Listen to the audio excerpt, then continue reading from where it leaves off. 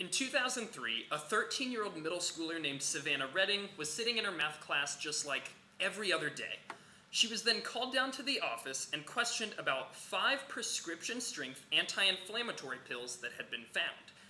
Even though she knew nothing about the pills, a strip search was conducted. No pills were found.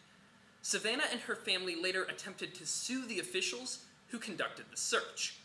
However, because of a judicial doctrine called qualified immunity, no one was held liable. First, I'll explain how qualified immunity works. Qualified immunity protects police officers from lawsuits even if they violated someone's rights. According to the Electric Law Library, an officer can qualify for immunity if the case fits a two pronged test. Was the law governing the official's conduct clearly established? And under that law, could a reasonable officer have believed the conduct was lawful? If a judge, not a jury, a single judge, determines that the officer qualifies, there is no trial and the case is completely dropped. Savannah's rights had clearly been violated, but she was given no remedy. This story, published in Human Rights Magazine, is not the only example of how qualified immunity has allowed American citizens to suffer rights violations without due vindication. This issue is important to all Americans, as we all have a moral obligation, a moral imperative, to ensure that our federal government is not infringing on our judicial liberties. As a competitive debater, I recently spent a year researching and debating the elimination of qualified immunity. The doctrine of qualified immunity for police officers causes many civil issues and must be eliminated to ensure justice and safety for all Americans. I will begin by outlining the flagrant violations caused by qualified immunity. Qualified immunity has allowed strip searches, police brutality, and a loss of civil rights in general. Strip searches are protected under qualified immunity. Stories like Savannah's have happened all across the country. It's nothing new.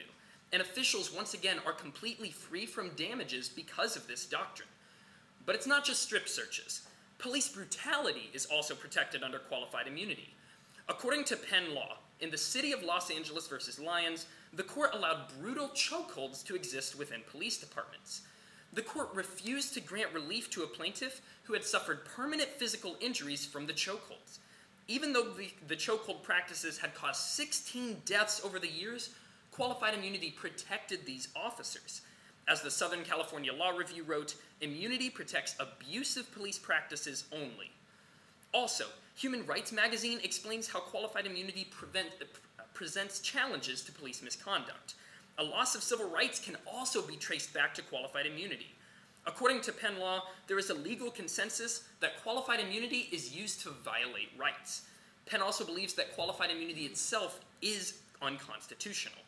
According to the Human Rights Magazine, qualified immunity also adds to rights violations because it allows for more judicial discretion as once again this is determined by a single judge, not a jury. Now that we know the serious crisis caused by qualified immunity, let's look at the best solution elimination. Qualified immunity's issues can only be solved by complete elimination. According to Sam Wright, a civil lawyer and writer for Above the Law, Congress should be the major player in elimination. Elimination would be swift and widespread. As soon as the bill is enacted, it will immediately go into effect. Of course, officials who previously enjoyed immunity could not be sued again due to the Double Jeopardy Amendment. This will be federal law. No judge in any state will be allowed to use qualified immunity. Costs will be negligible, if anything, money will be saved. The Southern California Law Review writes that elimination of qualified immunity would save money, as the defense costs saved by the elimination of the policy would be substantial. Elimination of this issue would also limit the amount of time spent by plaintiff counsel, counsel and limit the amounts paid to plaintiffs in attorneys' fees. No substitute or revision to qualified immunity should be permitted. NYU Law Review says complete elimination is far superior to any kind of revision. As I have shown, qualified immunity is too broken to try to fix. Complete eradication is the only option. It is only logical that people should be held responsible for their actions. In America, when someone's rights are withheld, there must be a remedy elimination would be swift and widespread. Now let's look at what the American legal system would look like after the elimination of qualified immunity. Qualified immunity's elimination would lead to an increase in justice and safety for all Americans. Elimination would restore justice to the American legal system. The Missouri Law Review explained that in Marbury versus Madison, the court ruled that every right, when withheld, must have a remedy. Since qualified immunity directly contradicts this ruling, it is unjust. In a world without qualified immunity, Americans would receive full vindication for the government's transgressions. According to the Southern California Law Review, elimination is the best method because anything else still allows police abuse. Elimination would also provide safety for Americans. Without qualified immunity, police would be held accountable for strip searches, chokeholds, and brutality in general. If they know that they will be held accountable, they will be less likely to commit these atrocious crimes. It's easy to see that America would be a better place if we eliminated qualified immunity. America was founded on the principles of liberty and freedom from government oppression.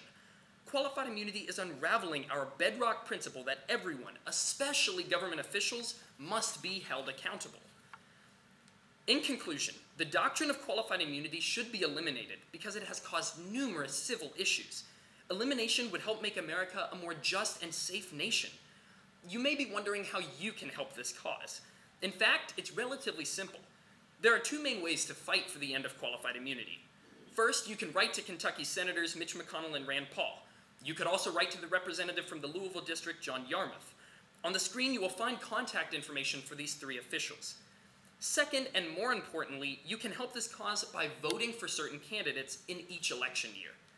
By using ontheissues.org, you can see what each candidate has said and continues to say regarding different issues. Next election cycle, use this site to determine which candidates will help fight for the end of qualified immunity. For people like Savannah, we all have a moral obligation to end this blatant violation of rights and help make America a better and safer and more just place.